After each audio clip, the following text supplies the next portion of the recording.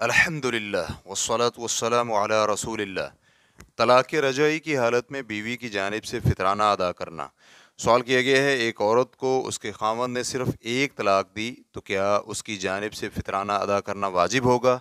الجواب بعون اللہ سبحانہ و تعالی اول، فطرانہ کی ادائیگی انسان پر فرض ہے اور اس کی جانب سے بھی ادائیگی فرض ہے، جس کا اس کے ذمے خرچ ہے۔ مثلا بیوی اور اولاد وغیرہ۔ اس کی دلیل دار قطنی اور بہکی کی یہ حدیث ہے۔ ابن عمر رضی اللہ عنہما بیان کرتے ہیں کہ نبی صلی اللہ علیہ وآلہ وسلم نے فرمایا، جس کا خرچ برداشت کرتے ہو اس کی جانب سے فطرانہ ادا کرو۔ لیکن یہ حدیث ضعیف ہے۔ اسے دار قطنی اور بہکی نے اور امام نووی رحمہ اللہ اور اسی طرح ابن حجر وغیرہ نے ضعیف قرار دیا ہے۔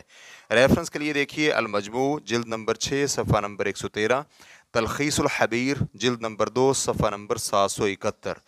مستقل فتویٰ کمیٹی کے علماء کرام کا کہنا ہے، فطرانہ ہر انسان پر اپنی اور اس کی جانب سے جس کا اس پر خرچ واجب ہے ادا کرنا فرض ہے، اور ان میں بیوی بھی شامل ہے کیونکہ اس کا خرچ خامد پر فرض ہے۔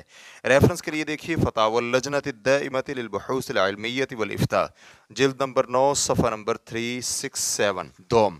جب عورت کو طلاق دی گئی ہو تو وہ بیویوں کے حکم میں آتی ہے۔ اس کے وہی حقوق ہیں جو بیوی کے ہیں اسے رہائش اور اخراجات وغیرہ ادا کرنے ہوں گے جب تک وہ عدت میں ہو اور فطرانہ بھی نفقہ کے تابع ہے۔ لہٰذا جب طلاق والی عورت کا نان و نفقہ خامد کے ذمے ہے تو اسی طرح فطرانہ بھی اس کے ذمے ہوگا۔ امام نووی رحمہ اللہ کہتے ہیں، ہمارے اصحاب کا کہنا ہے کہ طلاق رجعی والی بیوی کا فطرانہ خامد کے ذمے ہے، جس طرح اس کا نان و نفقہ ذمے ہے۔ ریفرنس کے لیے دیکھیے المجموع، جلد نمبر چھ، صفحہ نمبر چوہتر۔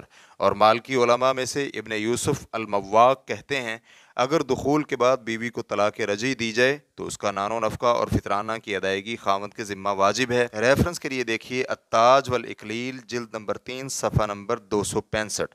اور بعض علماء کرام کہتے ہیں کہ بیوی کی جانب سے خامد کے لیے فطرانہ کی ادائیگی لازم نہیں، بلکہ یہ بیوی کے ذمہ واجب ہے۔